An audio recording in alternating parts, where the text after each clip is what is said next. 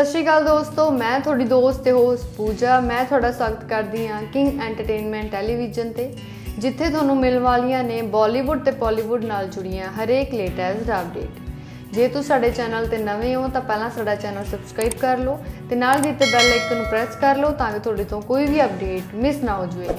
ਹੁਣ ਤੁਹਾਨੂੰ ਲੈ ਕੇ ਚੱਲਦੇ ਹਾਂ ਅੱਜ ਦੀ ਮੇਜਰ ਅਪਡੇਟ ਵੱਲ। ਇਹ ਅਪਡੇਟ ਸਾਨੂੰ ਦਿੱਤੀ ਗਈ ਹੈ ਪੰਜਾਬੀ ਸਿੰਗਰ ਦੇਵ ਵੱਲੋਂ, ਜਿਨ੍ਹਾਂ ਨੇ ਆਪਣਾ Song ਅਨਾਉਂਸ ਕੀਤਾ ਹੈ, ਜਿਸ ਦਾ ਟਾਈਟਲ ਹੈ ਮੁਬਾਰਕ। ਜੇ ਆਪਾਂ ਰੈਡਿਟਸ ਦੀ ਗੱਲ ਕਰੀਏ ਤਾਂ ਇਹ Song ਨੂੰ ਲਿਖਿਆ ਤੇ ਗਾਇਆ ਗਿਆ ਹੈ ਦੇਵ ਵੱਲੋਂ।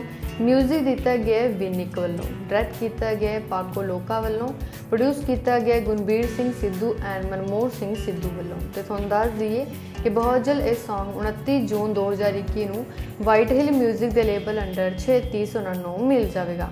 ਸੋ ਕਿਵੇਂ ਲੱਗੀ ਤੁਹਾਨੂੰ ਸਾਡੀ ਅੱਜ ਦੀ ਅਪਡੇਟ ਸਾਨੂੰ ਲਾਈਕ ਕਮੈਂਟ ਐਂਡ ਸ਼ੇਅਰ ਕਰਕੇ ਜਰੂਰ ਦੱਸੋ।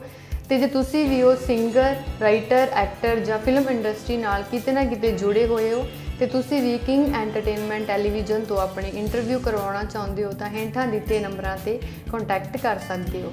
ਤੇ ਨਾਲ ਦੀ ਨਾਲ ਸਾਡਾ ਚੈਨਲ ਸਬਸਕ੍ਰਾਈਬ ਕਰ ਲਓ ਤਾਂ ਕਿ ਤੁਹਾਡੇ ਤੋਂ ਕੋਈ ਵੀ ਅਪਡੇਟ ਮਿਸ ਨਾ ਹੋ ਜਾਵੇ। Thanks for watching and keep sharing